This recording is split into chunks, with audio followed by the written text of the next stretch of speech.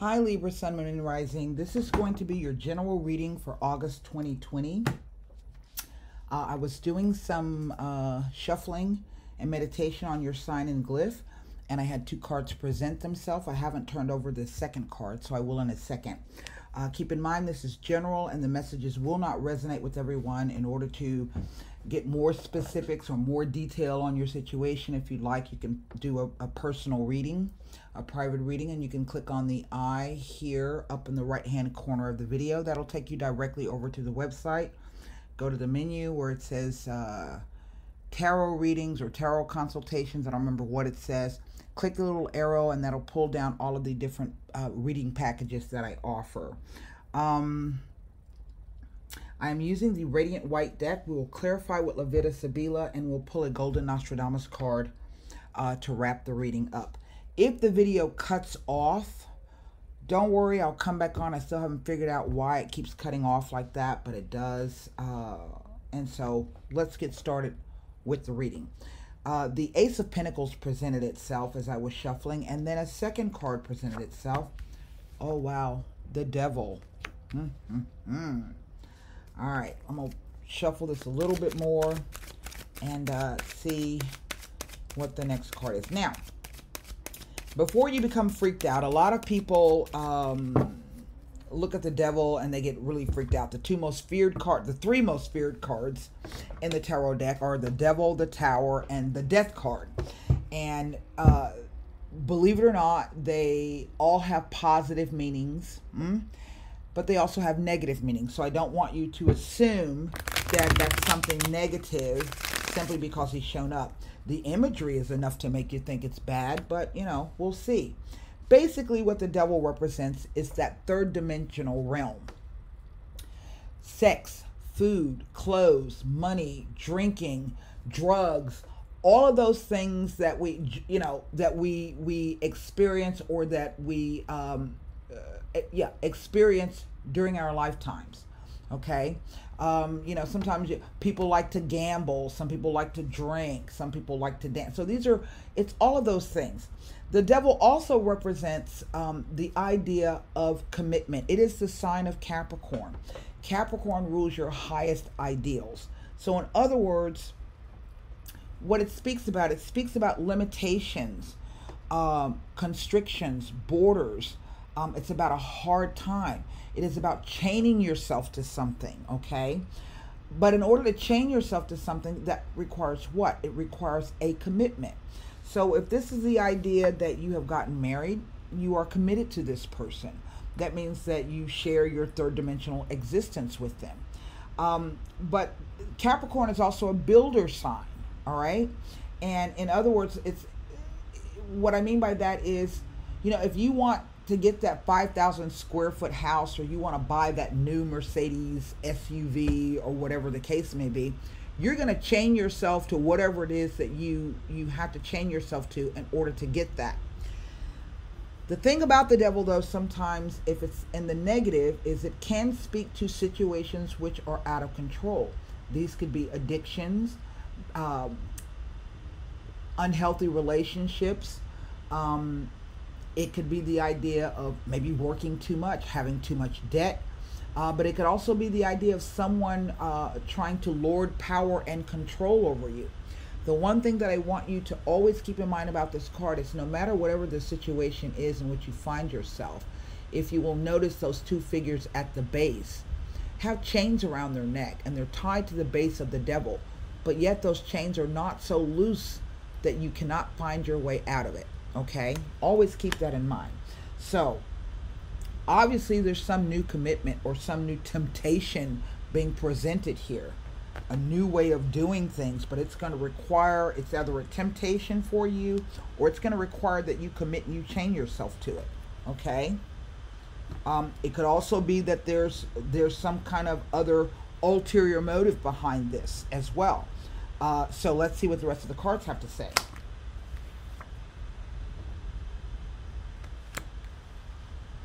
Well, that ends rather quickly, does it not? okay. So if it was a negative situation, the death card is positive because the death card comes to clear away everything. It cuts everything, it clears it away. abruptly, it is final, and you cannot, uh, it does not, the situation do, does not return. There is a new, there is a rebirth, a transformation, a mutation of the situation. Um, incidentally, I'm going to look at that because there's something else that it's telling me. I'm not exactly sure. Maybe this is something you accepted, you stepped into it, you realize, holy crap, this ain't what I signed up for. And so it comes to an end. That's always a good thing. So let's see what the rest of the cards have to say. Interestingly enough, this is what I was going to say. This to me is the Saturn Pluto conjunction. Uh, it went exact back in January, I think January 12th to be exact. But these two planets are going to be in play. So there's a lot of, um, what do you call it? There are a lot of forces at work. Uh, and what I mean by that is, is Saturn is always about uh, the hard lesson learned or rolling up your sleeves and doing the hard work. And Pluto is all about the death of things, uh, but then the rebirth. Now, this could even be Pluto is all about power and control, but the truth of the matter is, he trumps this card because death is final. The end is the end, and situations change. Incidentally, according to astrology and the mythology, Pluto was the son of Saturn. Saturn used to be the king of the gods until he was usurped, uh, castrated, and kicked out of heaven by the two sons, Pluto and Jupiter. So he was the king of the heavens, and he's always been the king of the underworld. Okay? So this could be some kind of power and control issue. I don't know. There's a Ten of Pentacles. Interesting. The Two of Pentacles. Wow. The Six of Swords, which I like to see after the Death card. I really do because it means that whatever this ending is, you are able to move rather swiftly away. It's a six. There's a bit of upheaval here. Yes. Uh, let's say the rest of this is not a bad spread. Trust me. There's the seven of cups. This is not a bad spread. The justice card. Hmm. Oh, wow. And there's that tower. Now this tower has just come out for Virgos um, as well. And I, I do sense, I do believe that uh, Uranus is going to be quite powerful this month.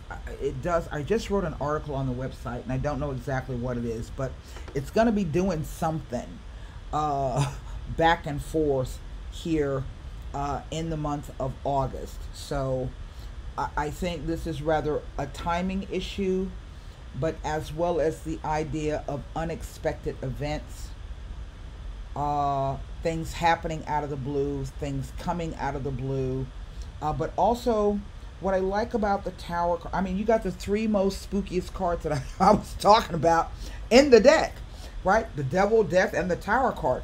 But the cool thing about the Tower card is that Uranus rules electricity and sometimes electricity can strike lightning can strike and destroy things right? But at the same time when it does you're left with a, a, new open field in which to build and to plant. Sometimes it can be like a lightning bolt out of the blue. That aha moment. See the crown being knocked off the top? Nevertheless it shows two people falling. And i do get the sense that these two people here. So this could be the idea of a relationship breaking up okay? Suddenly, uh, I will, uh, due to the time that we are in with the pandemic, this could even be the idea of someone passing away and leaving you an inheritance. But this can suggest the loss of everything at the same time. Okay? So I'm really kind of curious as to what this tower is trying to tell me, particularly as the outgoing influence, but even still, it is the outgoing influence. Now, one other thing this could be telling me to let you guys know that if there's any travel, to please be careful because there is a risk of accidents We have a boat here, another boat here. We have a horse, and we have this. So I want you to also be careful. I have even seen this show up when it speaks about uh, like flooded basements or cracked foundations in homes or um, flood events that come across. Even here with this. So, you know, if at this point in time, you know, you, there's travel being done, try to be wary, uh, be defensive, pay attention, don't drive tired, don't text, you know, all of those things. You know, check your vehicle, check your car, make sure that your pressure is good, everything works well. Okay, so that you can, in, in a sense, maybe mitigate this. The tower is, again, not always a negative card. So, what is under the deck? The Seven of Swords. Now, this is another interesting card because most uh, readers will read it only as theft and lies and deception. I have seen that card show up when it speaks to a house move. Okay, I have seen that card show up when it speaks about the idea of of delays and postponements, uh, things not going to plan, uh, and the fact that you are distracted and you're not paying attention to whatever it is you need to be paying attention to. That that's where accidents can happen as well. So to kind of slow down, focus your energy. Sometimes I've seen the card show up when it says that you're trying to run away from something. You don't want to face up to it. Okay? So I have one, two, three, four major arcana cards in the spread itself. I have one, two, three pentacles. So there's definitely some kind of property, possession, financial, third dimensional, material plane issue here. To me, the Seven of Cups is speaking to me about confusion you're emotionally confused by this. You don't know what the right thing is. You don't know what the thing is. You don't know uh, maybe how you feel about any of it. This could also be the idea that perhaps um, you got your head in the clouds, right? And your head in the clouds is going to create a situation in which, you know, some bad things can happen so let's see. I have no repeater numbers here. And in the center, I have this two of pentacles here. And from the 10 to the 2, that's that's actually um, 8 pentacles. I'm subtracting. Even if I were to add it, the 2 and the 10, 1 plus 2 gives me 3 pentacles. There's 3 people. There's 3 people here. See what I mean? So there's 3 people here. So maybe there's some kind of um, contractual issue here. Sometimes that's what the justice card can be about. It, it represents the law and legal issues, but it also represents fairness and balance and uh, rationality. Uh, in other words, you know, if this is a legal issue, maybe we don't get exactly what we want, you know what I'm saying? But whatever the judgment is or the decision is, it is a fair decision okay? We don't always agree with that, but sometimes that's what you have to do. Even if you lose a situation, right? If you lose a case, um, the bright side of losing that particular case is that now that it is over and all the damage is done, right? You're free now to rebuild and to move on. So what I'm gonna do is look at one, two, three, four, five. These five pip cards as they relate to any of these um, major arcana cards. This is a very powerful message, uh, I think, for you. Um, let me get to this Pentacles. The eight, eight, I'm sorry, the Ace of Pentacles. I don't know why they always put the Pentacles in the back of the book, but they do. Um, the Ace of Pentacles. I'm going to go ahead and read the 10 and the 2 as well since I'm in this suit. the Ace of Pentacles, it tells me nothing being next to any of these cards.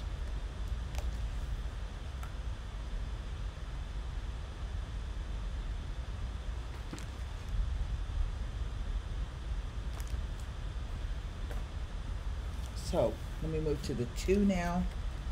I know I'm going out of sequence, but just bear with me. the Ace of Pentacles, I'm sorry, the Two of Pentacles appearing next to the Ace. Is a message to consider, reconsider, and reevaluate any new plans or ideas that involve financial communication and or outlays. Hmm. That's interesting. The key word for the Two of Pentacles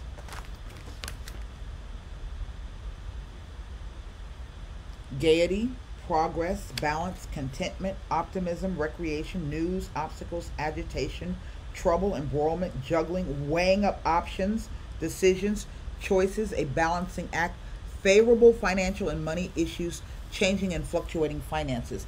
Whatever this ending is in this indirect uh, energy here, it leaves you all a sea. See those two boats being tossed about? You're trying to weigh up something and, trying to maintain a balance while you're doing it. But obviously, there's a bunch of confusion surrounding this. Okay? Excuse me. Now, let's take a look at the Ten of Pentacles.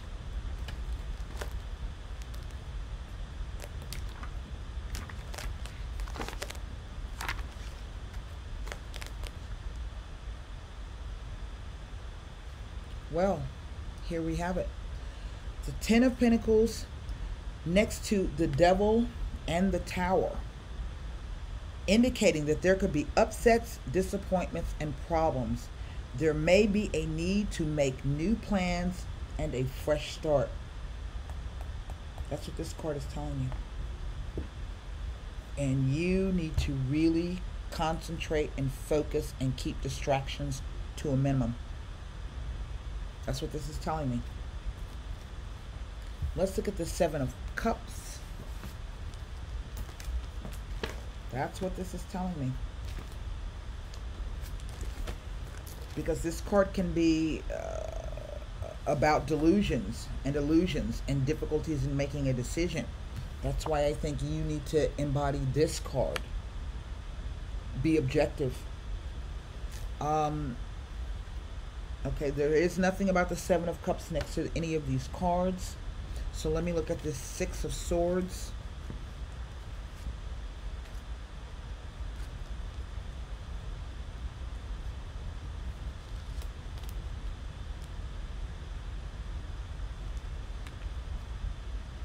Nothing about the Six of Swords.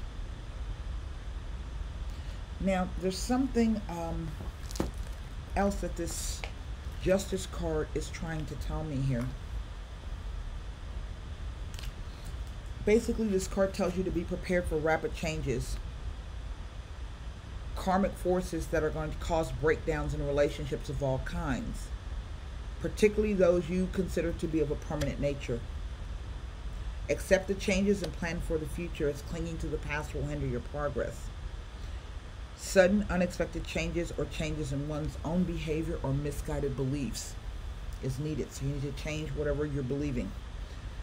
Unexpected positive changes that brings flashes of intuition and breaking free of restrictions and tells of sudden events occurring that bring a new direction.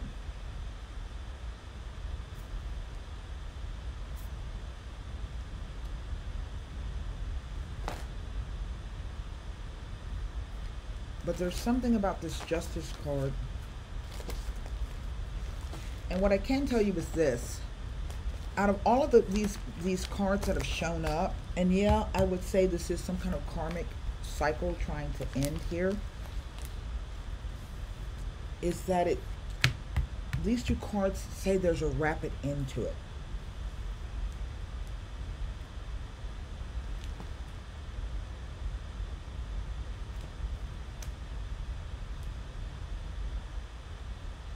And this card is a Libra card. It's ruled by Venus.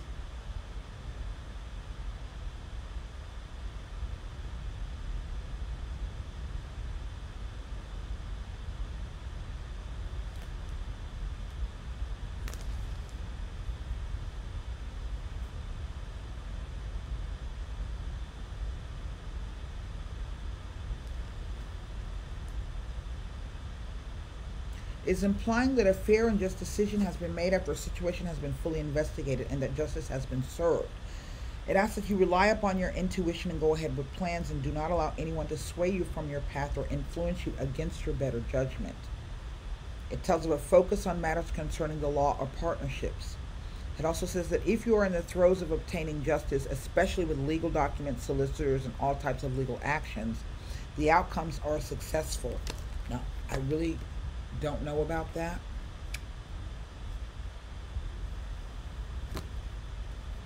So we're going to look at that.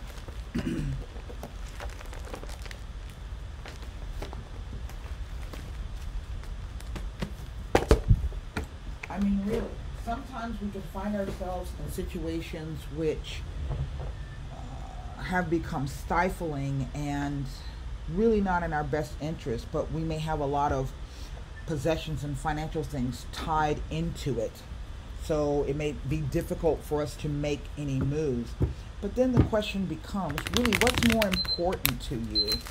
Uh, keeping those things or being free from this oppressive situation, right?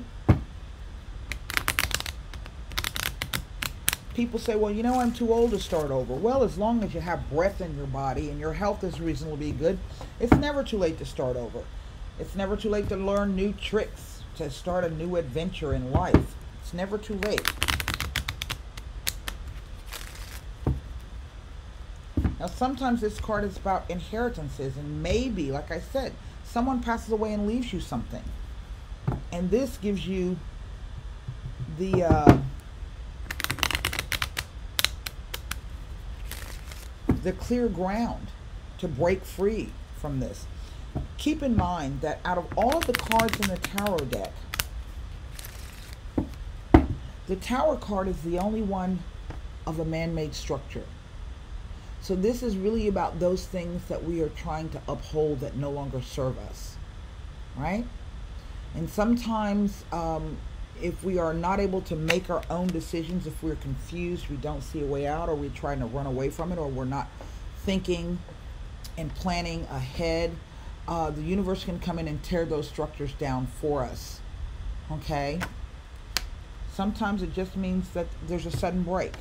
So I want to take a look and see what this devil card is trying to tell us first. Who is this devil card? Why has he presented himself? fact, I'm going to look at uh, the Six of Swords as well underneath this Tower card. I do get the sense for some of you, this is kind of like a warning, perhaps about uh, some kind of accident, boating accident, a traveling accident. There's two boats. There's boats being depicted here. You know? Some accident around the water, maybe involving water and electricity. I don't know. so, you know, be careful, don't do anything stupid. But that the death card is at the top. The ending comes, there's a leaving, and then this collapse. So that's what I'm, I'm kind of having trouble with here. So, the devil card. La Nemica. Wow. The L'Amante, female. Two queens here, a queen of spades, a queen of coins. I'm sorry, cups. And the Limoneo. Now, this could literally, remember I said there were three people here. So this could literally be a third party interjecting themselves into your relationship. No matter whether this is romantic or business, uh, no matter whether this is same sex or heterosexual relationship, whoever is going to take the role of the female or the females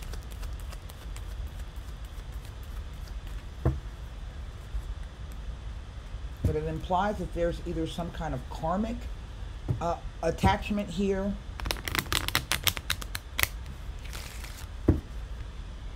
or that she is the trouble of all of the she's the cause of all of the trouble this could even be you I'm not just saying it's a third party this could be you being the third party and being the one that's causing all this damn drama. Okay, here we go.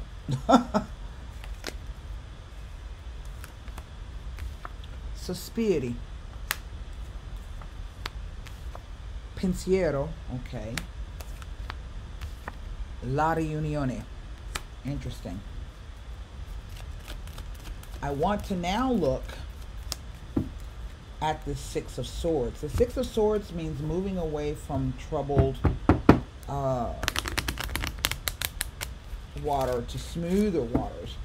But the whole key about this card is that even though you may be moving away from this, um, you are still taking your thoughts with you. And so maybe what, in, in a metaphorical kind of way, what the cards are saying is once you arrive at your destination, those swords will come down. You'll be liberated. You won't have to hide behind them. Okay?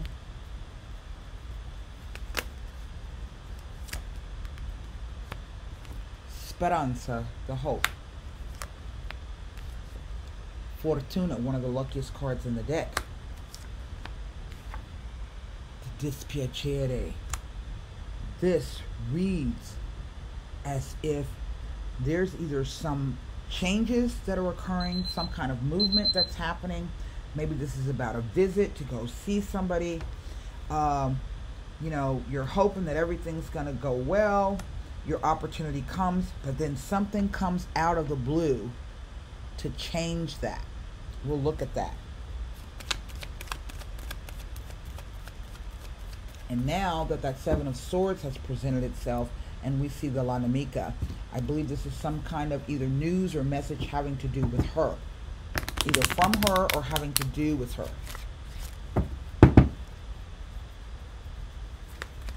The Tower card. The, lettera the Letterato. It's interesting. The Belvedere. And the Vedovo.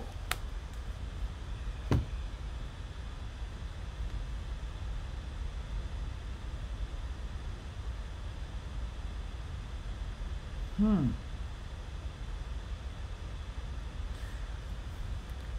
To me, this card implies this is the learned man, or he's he's like the scholar, and so this is somebody who knows a lot of things, um, you know, has a lot of knowledge.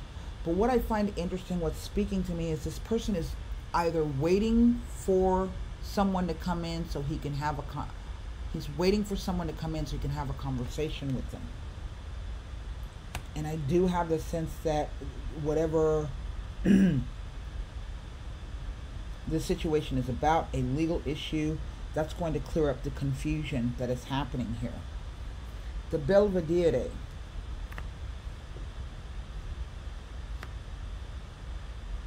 On the back side of this, it's a surprise.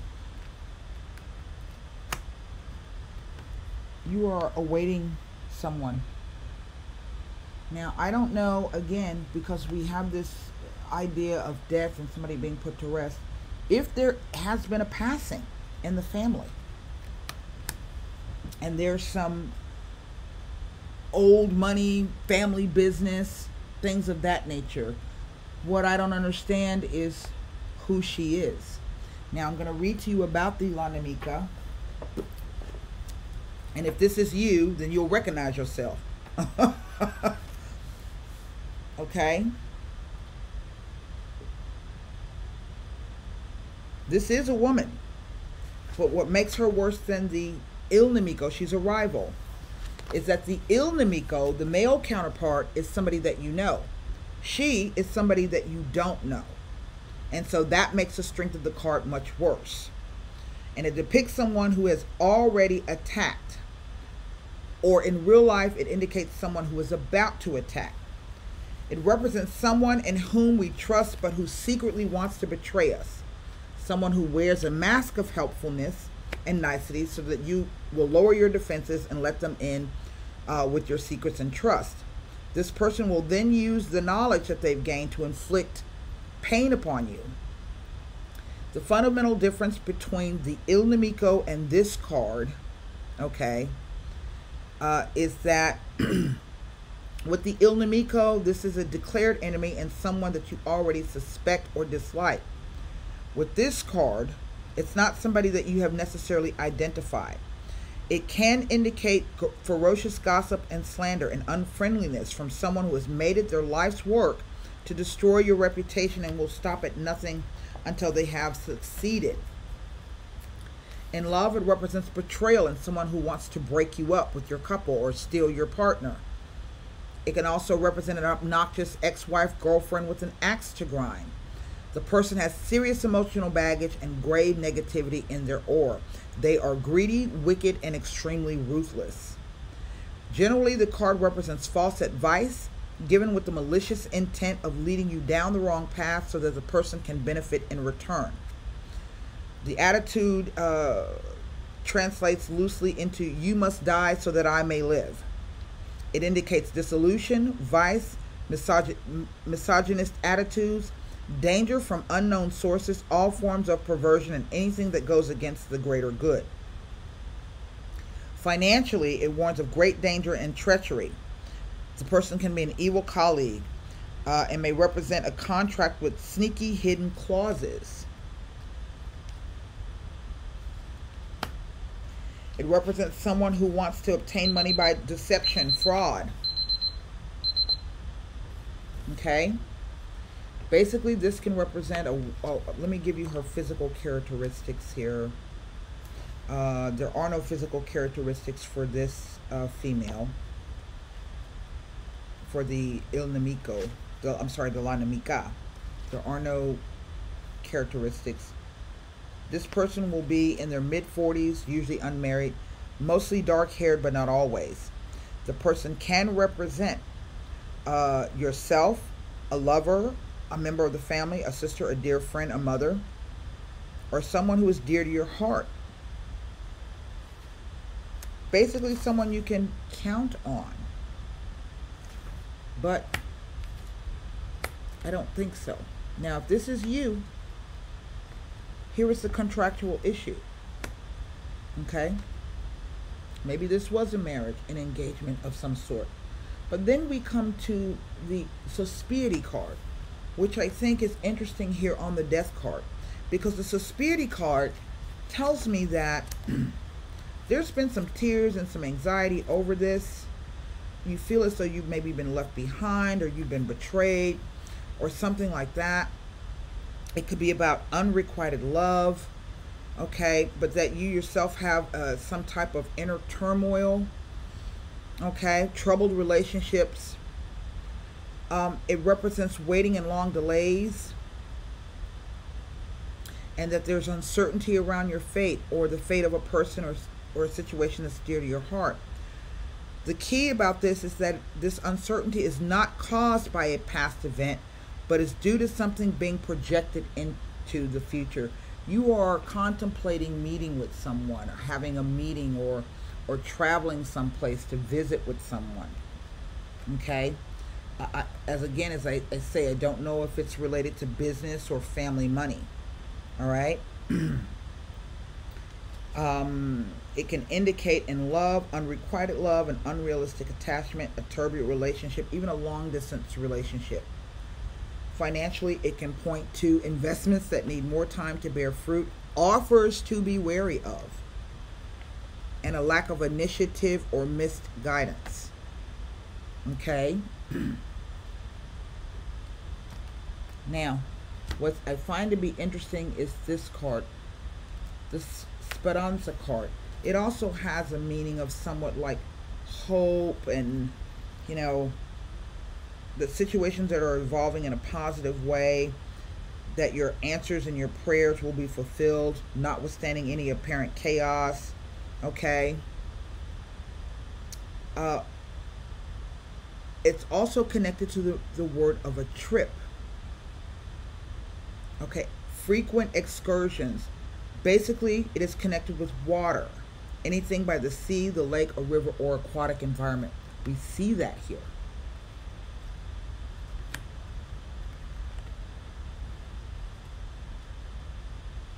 Okay. So I don't know if this is an overseas travel, uh, traveling across, you know, this could be something as simple as flying across a lake or taking a boat across the lake.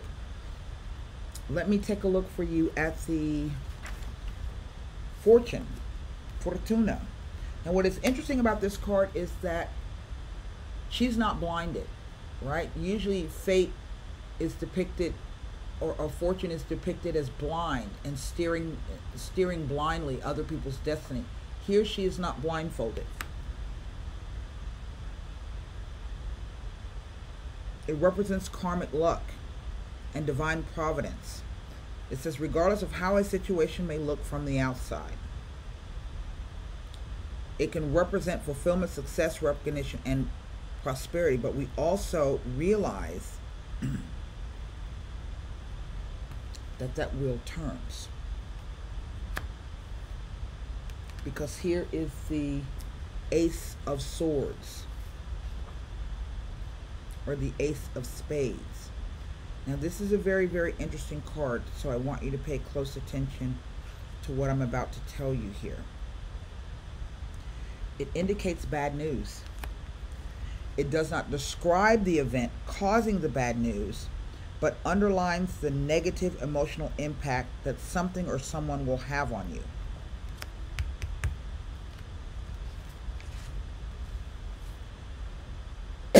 It foretells a period of difficulty, sorrow, failure of a project, humiliation, gossip, or anger in the area being inquired about. Sometimes it can herald violence, attacks, and arguments that can become physical. I don't necessarily see that.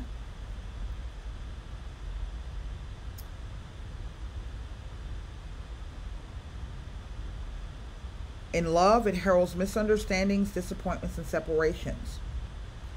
In family matters, it foretells of falling out, bitter disputes, feuds, and very sad news.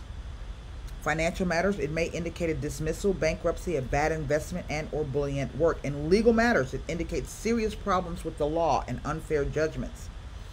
There are two main areas of impact. The first is the open letter, which heralds unexpected bad news. This can be from any source.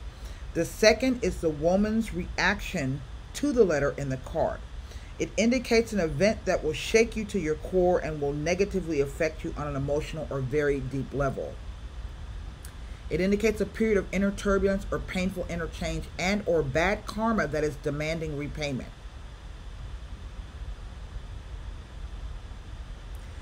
It says if it is near significator cards, and it's not, I think this has to do with your moving away or leaving or even if that's a mental thing, right? Trying to get away far enough so that you have some space to work out your emotions here. Um, I'm going to read to you the Belvedere card because I think she is most important in these three cards. This card heralds the arrival of something, news or an opportunity or someone in a very short depiction of time, a short period of time. The telescope depicted the wrong way is a metaphor that to describe that it is not merely you are merely not observing something from afar, but that it is coming towards you. It is neutral Whatever or whoever is going to arrive will be indicated by the cards that follow. It's this sad guy right here. On its own, it can uh, in reading it signifies a return of a partner or a loved one.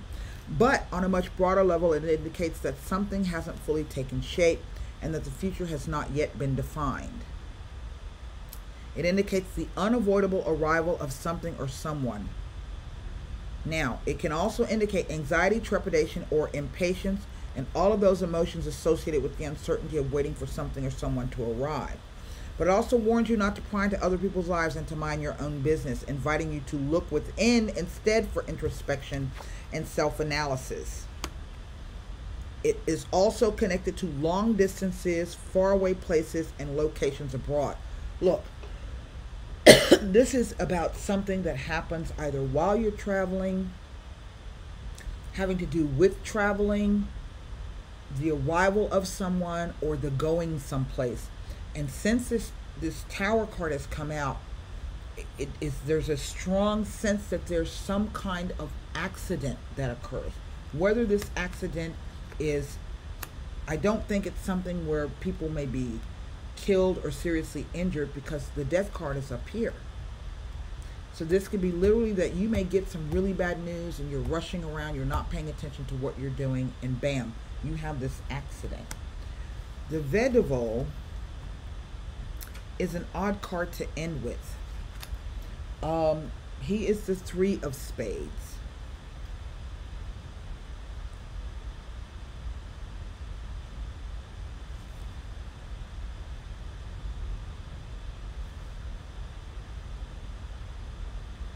In love, the card heralds the separation, arguments, incompatibility, rancor, resentment towards another person, a relationship devoid of true love, and growing apart. In financial matters, it indicates financial collapse or the unsuccessful ending of a project that meant a lot to you. Usually, this entails making life changing decisions and breaking away from something or someone. It indicates estrangement, deprivation, absence, a lack of some kind, and or moving away from a situation or a person. Again, we have this idea of um, unwanted business trips or relocation. Again, the word abroad keeps coming up. So I don't know if this has to do with someone who is overseas, um, you know, business dealings that are overseas. What I would particularly am is who is this person? If this is you or if this is somebody else. And there are, I think, three main people here. And whatever this situation is, you, you are projecting out into the future your thoughts about this meeting. Well, for some reason that comes to an end, like there's a change of mind. This represents family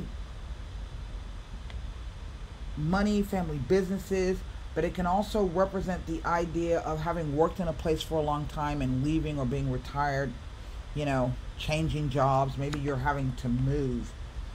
So, again, this there, there's some travel here, and I don't know what this is really trying to tell me. But you're going to receive some news quite unexpectedly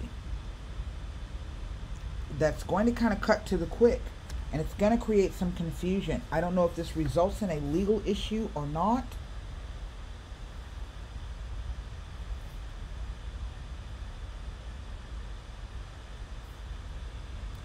But I just get the sense that this tower card is both going to be the collapse and the end of.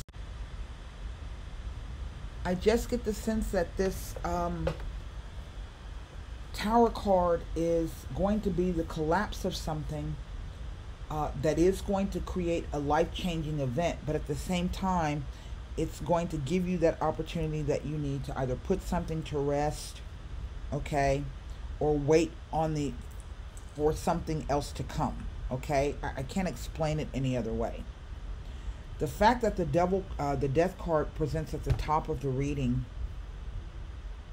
I think tells me that for the most part this is already ended Maybe, like I said, there has been a family inheritance. Maybe there is a loss. Um, but it definitely speaks to some kind of this is a fluid, changing situation. What I want to do for you, I wish I could give you more information uh, here, but there are going to be a lot of changes, and I think the month of August is going to be quite pivotal for all of us uh, as a nation. And more importantly, for some of us more personally than others. It's going to be very pivotal as we move into the fall and the winter season. Um, and so, with that being said, formulate your question for Golden Nostradamus. Perhaps he can tell us something because something changes right when this movement starts to happen, right when you think that you can leave all of this behind, something changes. And I don't know what that is. Hmm. It's the castle. Hmm. The headstrong bold pursue their hopeless dreams, while cowards never act but only scheme.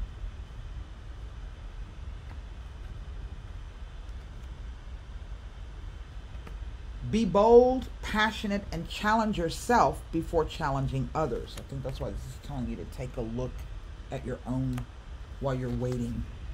Be careful of being overconfident and be sure you understand what your true aspirations are. I don't know why that's telling you that.